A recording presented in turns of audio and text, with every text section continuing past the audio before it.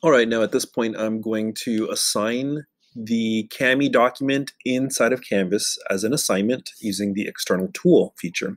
So I've already gone to, uh, to create the assignment and I've created a title and my directions and my points and everything. The key thing here is to focus in on submission type. You want to select external tool. You'll click find as usual. And if you need to, you can open up this window a little bit and you want to select Kami. Once you click Kami, you can search for your document. So mine was called Why Running. I'm going to start with that to find it. And we want to use the PDF file. So I'm going to click this version of it. Notice there's a couple of other ones in there because I was been playing around with this inside of Kami, and but the PDF one is the one we we really want here. So I click select, and select again.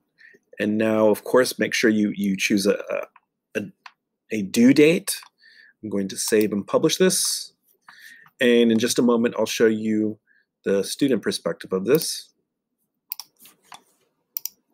So on the screen here, I'm logged in as a student. You can see that I've gone to the assignment and the Kami document is loaded up and I have all of my tools here that I can I can go ahead and click on and, and start putting my response here as a student. When I am ready to turn this in, you'll notice that I have the submit button right here. So it'll be important for you to ensure that your students know how to press submit. I'll go ahead and press submit. Okay, so I'm back now on the teacher screen and I'm going to click speed grader. This is going to be how I can go in and grade and give feedback.